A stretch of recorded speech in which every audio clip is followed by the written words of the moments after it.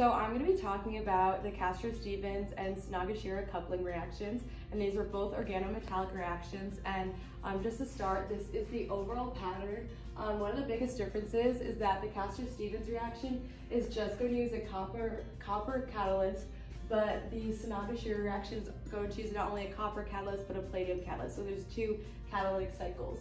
And the overall pattern is that you're gonna have one um, R group that's gonna be an aryl bonded to a halide, and then you're gonna have another terminal alkyne with an aryl or vinyl um, R group at the end. And then depending, like I said, if it's Castro-Stephens or Sonogashira, we're definitely gonna have the copper catalyst and maybe a palladium, palladium catalyst under basic conditions to form our di-substituted acetylene product, which is gonna form a new carbon-carbon bond between um, the aryl or the aryl and vinyl group, and your byproduct is also going to be a copper halide.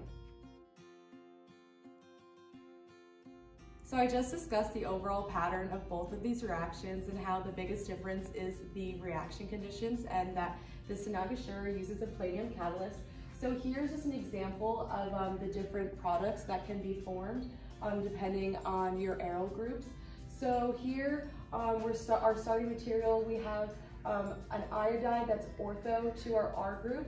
So under Castro-Stephens reaction conditions, um, if the halide is ortho to the R group, and we have our copper one um, catalyst, and we're uh, and we are using DMF for our reaction conditions, um, this Castro-Stephens coupling reaction is actually able to form a heterocycle. Um, in other cases, um, also other cyclic products. And um, uh, in order to form a cyclic product, there will probably have to be another reaction um, after it to form that cyclic product.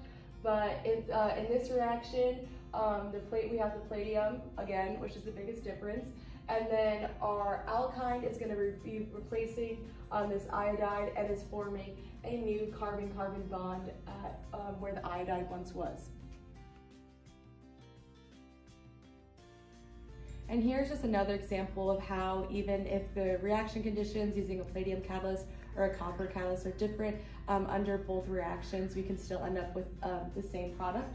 So here in this example, we have the iodide being replaced um, by the terminal alkyne and aryl group, and uh, we're gonna have our copper halide product because the iodide is gonna leave um, and bond with the copper during a um, carbon metallation, which I'll explain next.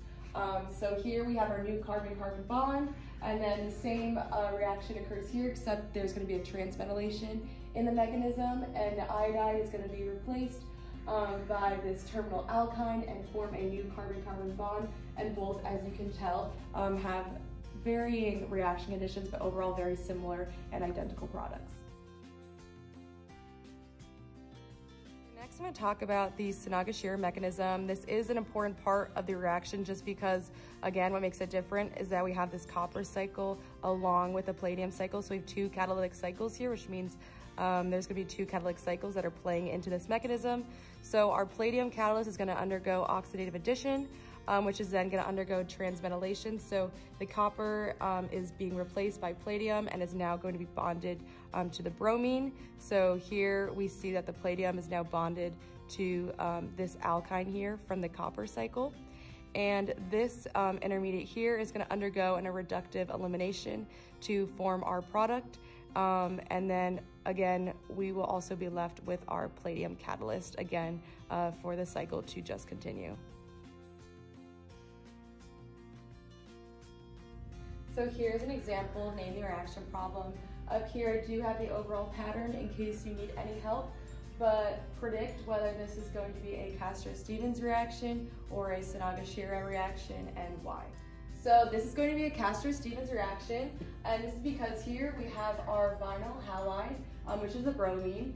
Um, then over here we have our terminal alkyne, and in our reaction conditions we have um, copper iodide, which is going to be our copper 1 catalyst. Also, there is no palladium present, so that is another reason why we can um, deduce that this is, again, going to be a Castro-Stephens reaction. And through that, um, our terminal alkyne forms a new bond to where the bromine once was, forming this overall product um, in this coupling reaction. And then again, we get our copper 1 bromide byproduct as well. Again, the main differences are that Sonogashira is going to have a palladium catalyst um, along with a copper catalytic cycle, so there's two cycles.